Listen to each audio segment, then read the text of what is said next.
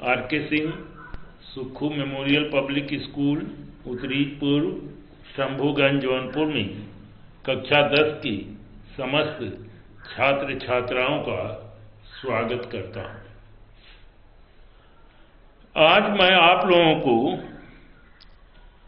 संस्कृत में वृक्षाणाम चेतनत्व के बारे में आपको बताने जा रहा हूँ, अभी आपको भृगुवाज भृगु जी क्या कहे? उसके बाद भरद्वाज भरद्वाजुवाज भरद्वाज जी क्या कहे? फिर जो है भृगुवाच भृगु कहते हैं, घनानान, घनानानमपि वृक्षाणाम वृक्षाणाम आकाशो अस्ति, न संशय। तेषा पुष्प, फल, व्यक्तिर्नित्यम समुपपाद्यति। घनानामपि वृक्षाणाम आकाशो अस्ति, न संशय। तेषा पुष्प, फल व्यक्तिर्नित्यम समुपपाद्यति। इसमें आपको जो है भृगुवाच भृगु ने उत्तर दिया। अन्वय आप देखें घना नाम अपनी वृक्षाणाम आकाश अस्ति अत्र संशय न अस्ति। तेषा पुष्प, फल, व्यक्ति नित्यम समुपाद्यति घना नाम वृक्षाणाम कहा कि ठोस रूप होते हुए भी घना नानापी ठोस रूप होते हुए भी वृक्षों में आकाश तत्व अवश्य है। इसमें संदेह नहीं घना नानामपि वृक्षाणाम आकाशो अस्ति न संशय। ठोस रूप होते हुए भी वृक्षों में आकाश तत्व अवश्य होता है, इसमें संदेह नहीं। न संभव संशय। क्योंकि तेषाम पुष्प फल व्यक्तिर्नित्यम समुपाद्यति क्योंकि उनकी फूल और फलों की उत्पत्ति नित्य संभव होती है। उसमें फूल और फल भी जो है, क्या होते हैं? लगते हैं, उत्पन्न होते हैं, क्योंकि चेतनता का एक है कि वंश वृद्धि में सहायक होते हैं। तो उद्धृत उत्पत्ति नित्य संभव होता है। आकाश जगाने का तात्पर्य है कि आकाश तत्व के अभाव में फल और फूल उत्पन्न नहीं हो सकते। फलों और फूलों में भी आकाश तत्व होता है। फलों और फूलों में जो है आकाश तत्व होता है। और बिना आकाश के उनका अस्तित्व ही नहीं है।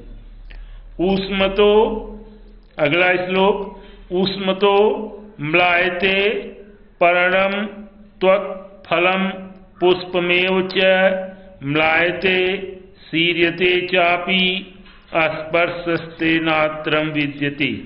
उष्मतो कहा उष्मतो म्लायते? अन्वय इसका आप देखें। उष्णतः पर्णम मलामलायते त्वक्य फलम पुष्पम एव च म्लायते। शीर्षयते अप्च तेन अत्र स्पर्श विद्यते। अर्थ है कि उष्मतो म्लायते पर्ण, गर्मी के कारण वृक्षों के पत्ते जो है, वे मुरझा जाते हैं। जब अधिक गर्मी पड़ती है तो उसके पत्ते भी जो है, क्या हो जाते हैं? मुरझा जाते हैं। फलम पुष्पम विशीणित कहा कि पर्णम त्यक्त फलम पुष्प में छाल, फल और फूल भी जो है कुमला जाते हैं। वृक्षों के छाल, फूल और फल भी जो है कुमला जाते हैं। और कुमला जाते हैं और अंत में जो है, इसमें जो है और बिखर जाते हैं। कहा कि छाल, फल और फूल भी कुमला जाते हैं और बिखर जाते हैं। इस कारण से, इस कारण से जो है, मलायते सीरते चाप स्पर्श स्पर्श ते नात्र विद्यति। इस कारण से वृक्षों में स्पर्श होता है। गर्म हवा के स्पर्श से ही वृक्षों के पत्ते, गर्म हवा की स्पर्श से ही वृक्षों के पत्ते, पुष्पाद जो है, मुरझा जाते हैं। कहा कि अतः स्पर्श होने से जो है, फिर से इसको आप देख लें। गर्मी के कारण उष्मतो मलायते प्राणम। गर्मी के कारण वृक्ष के पत्ते जो है, वे मुरझा जाते हैं। छाल फलम, पुष्पम निर्घव से। फलम, पुष्पम विसीरिते। छाल फल और फूल भी कुमला जाते हैं। मलायते सीरते चापी च धनपी और बिखर जाते हैं इस कारण से, है? स्पर्श ते नात्रम विद्यते। इस कारण से वृक्षों में स्पर्श होता है। गर्म हवा के स्पर्श से ही वृक्षों के पत्ते, पुष्पाद जो है, मुरझा जाते हैं। वाग्नयत्र निवीज से सत्य फलम प्रस्तुत पंक्ति में प्रस्तुत श्लोक में भृग जी कहते हैं कि वायवर्ण्यमसी निघौसेम फलम पुष्पम विसीर्यते स्रोतेण गृह्यन्ते, शब्दस्तम स्माक्षर शुण्वंती पादपा। इसमें भृग जी कहते हैं कि वायु, की वाग्नवस्न्यास सौधे फलम पुष्पम च विसीरते श्रोतेण शब्द गुहते तस्मात् पादप शुण्वंती कहा कि वायु वायु, अग्नि, नीनि, घौसे।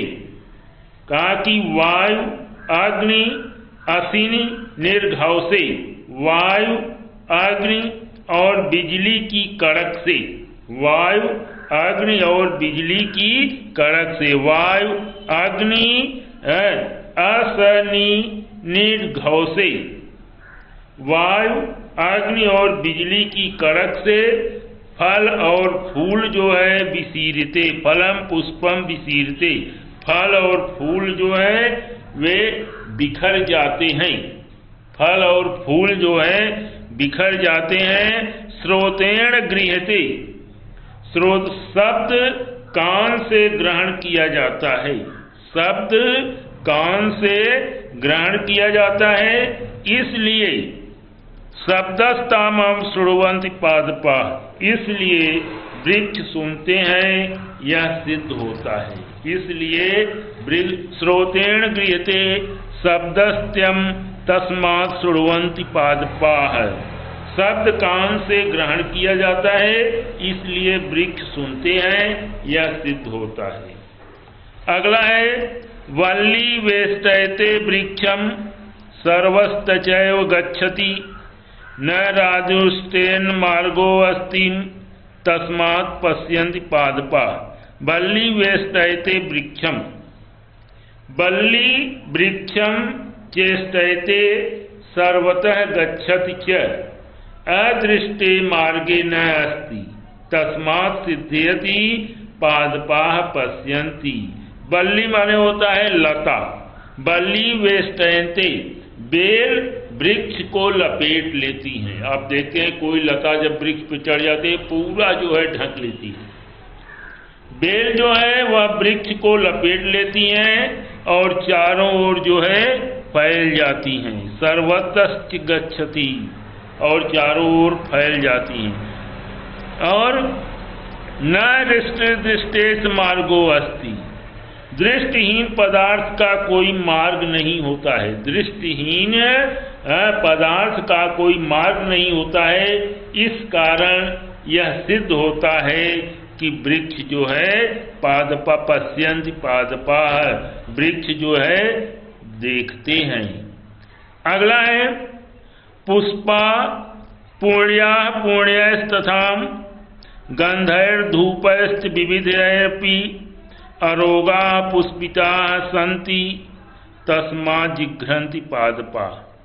पुष्पा पुण्या पुण्यास्तथा वृक्ष इसका ये है कि पुण्या पुणे तथा अन्वय देखें वृक्षा पुण्या पुणे तथा गंधैर धूप च, आरोगा पुष्पिता च संति तस्मात् पादपा जिघ्रंति सिद्धियति। वृक्ष जो है, प्रस्तुत श्लोक में, भृग जी कहते हैं कि वृक्ष पूर्णियों और अपूर्णियों से तथा अनेक प्रकार की गंधों और धूपों से रोग रहित और पुष्पित होते हैं। रोग रहित और पुष्पित होते हैं। पूर्णा पूर्णे गंधैर धूपैस्त विविधि रैपी है? अरोगा पुष्पिता संति। पूर्ण वृक्ष जो है, पूर्णियों और अपूर्णियों से तथा अनेक प्रकार की गंधों और धूपों से रोग रहित और पुष्पित होते हैं। इस कारण वृक्ष सूंघते हैं, इस प्रकार से सिद्ध होता है। अगला है, पादय सलिलम पानांच व्याधि नाम चापि दर्शनात्, व्याधि प्रतिक्रिया, प्रतिक्रियात्वांच विद्यते रसनम द्रुमी। पादय सलिला पांचम प्रस्तुत इस अन्वय देखें। पादय सलिल पानात व्याधि नाम च अपिदर्शनात् व्याधि प्रतिक्रियात्वाम च द्रुमे रसनम विद्यते इति सिद्ध्यंती पादय सलिलाम पानांच वृक्ष जो है का अपनी जड़ों के द्वारा जल पीने के कारण, अपनी जड़ों के द्वारा जल पीने के कारण और रोगों के दिखाई न व्याधि नाम चाप दर्शनाथ और रोगों के दिखाई पड़ने के कारण और रोगों का उपचार होने के कारण वृक्ष जो है स्वाद लेते हैं, व्याधित प्रतिक्रियांच विद्यते रसनम द्रुमी। स्वाद लेने में सामर्थ होते हैं। अतः ये जो है, बीमार वृक्षों में जैसे कोई वृक्ष सूख रहा है तो उसमें दवा आदि डालते हैं तो फिर हरा भरा हो जाता है। और वे जो है, अपने जो है, जड़ से पानी पीते हैं, बिना स्वाद के दवा का प्रभाव को भी जो है, नहीं हो सकता। इसलिए कहा कि वृक्ष अपनी जड़ों के द्वारा जल पीने के कारण और रोगों के दिखाई पड़ने के कारण और रोगों का उपचार होने के कारण वृक्ष में स्वाद लेने की सामर्थ्य होती है। अगला है, अब जो है, अगला है वक्त्रेण तोत्पलनालेन यथोर्ध्वम जलमादेत तथा पवन संयुक्त पादय पिबंत पादपा। वक्त्रोण कहा कि वक्त्रेणोत्पल नालीन यथोर्ध्वम जल मादा देत इसमें जो है है कि वक्त्रोण नालीन यथोर अगला है कि यथा उत्पन्न नालीन वक्त्रेण जलम ऊर्ध्वम आदेत तथा पवनम संयुक्त पादप पादय जलम पीवती जिस प्रकार कहा कि वक्त्रेणोत्पल नालीन यथोर्धम जिस प्रकार कमल दंड से मुख के द्वारा जल ऊपर दिया जाता है, उसी तरह से वायु से युक्त पेड़ अपने जड़ों से जो है जल पीते हैं। सुख तो दुख योस्त ग्रहण विरहोणात जीवम पश्यामी वृक्षाणाम चैतन्यम न बीतते सुख दुखयोश्च। सुख दुखयो ग्रहणात् छिन्न से विरुणात् वृक्षाणाम जीवम पश्यामी अचैतन्यम न विद्यते। वृक्षों के भी जो है सुख और दुख का अनुमान करने से, कटे हुए के अंकुर आने से, उसमें जीव देखता हूँ। वृक्ष भी जो है सुख दुख का अनुभव करते हैं। अनुमान कर, करने से कटे हुए के अंकुर आने से जैसे जहाँ काट देते हैं वहाँ तरल पदार्थ आ जाता है। आने से उसमें जीव देखता हूँ उनमें निर्जीवता नहीं है। कहने का आशय है कि वृक्ष भी चेतन है जड़ नहीं है। अगला है तेन तज्जन तज्जल मातम जरयत्वाग्नि मारुति आहार पर, परिणामांच स्नेहो वृद्धिश्च जानते। तेन तज्जल मादतम तेन तेन आदतम तज्जलम अग्निमारुस्ताश्च जरयति। आहार परिणामात च स्नेहम वृद्धि च जायते। प्रस्तुत श्लोक में भृग जी कहते हैं कि यज्ञ आदि के कारण से कि तद तेन तत्, कि तेन तद जलम आदतम वृक्ष के द्वारा ग्रहण किए गए उस जल को अग्नि और वायु जो है पचाते हैं और आहार के पचने से चिकनापन जो है और बढ़ जाता है? चिकनापन और भी आहार के पच आहार परिणाम से स्नेहो वृद्धि जाते आहार के पचने से उनमें चिकनापन की जो है, वृद्धि हो जाती है। ऐसे शाम सौर वृक्षाणाम छेदनम नयो कारेत चतुर्मासे विशेषेण बिना यज्ञादि कारण एतेषाम सर्व वृक्षाणाम इस प्रकार से कहा कि यज्ञादि कारणम बिना एतेषाम सर्व वृक्षाणाम छेदनम न कार्य विशेषेण चतुर्मासे नयोकारी भृग जी भरद्वाज जी से कहते हैं कि यदि यज्ञ आदि कारणों के बिना इन सभी वृक्षों को नहीं कटवाना चाहिए ये तेसाम सर्व वृक्षाणाम छेदनम नहीं इन सभी वृक्षों को कटवाना नहीं चाहिए।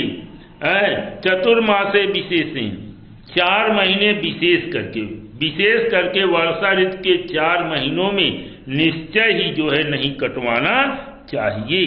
एक नाम सुवृक्षेण, सुपुष्पितेन सुगंधिनाम, वासितम वै वनम सर्वे सुपुत्रेण कुलम यथा। एके नाम सुवृक्षेण, का एकेन अर्थ सुपुष्पितेन सुगंधिना नाम सुवृक्षेण, सुपुत्रेण कुलम यथा सर्वम वनम वासितम क्योंकि एक ही फूले हुए सुंदर महक वाले वृक्ष से समस्त वन जो है सुशोभित हो जाता है। एक सुंदर फूल से युक्त, सुगंध से युक्त वृक्ष से पूरा जंगल जो है क्या हो जाता है? समस्त वन जो है सुगंधित हो जाता है। जैसे वासितम तय बनम सर्वम सुपुत्रेण कुलम यथा। कहा कि क्योंकि एक ही फूल हुए, फूले हुए सुंदर महक वाले वृक्ष से समस्त वन सुगंधित हो जाता है, जैसे एक अच्छे पुत्र के द्वारा समस्त कुल जो है सुगंधित हो जाता है। अब इसी पर हम अपनी वाणी पर जो है विराम देते हैं। अगला पाठ जो है अगले दिन तब तक आप लोगों से जो है गुड बाई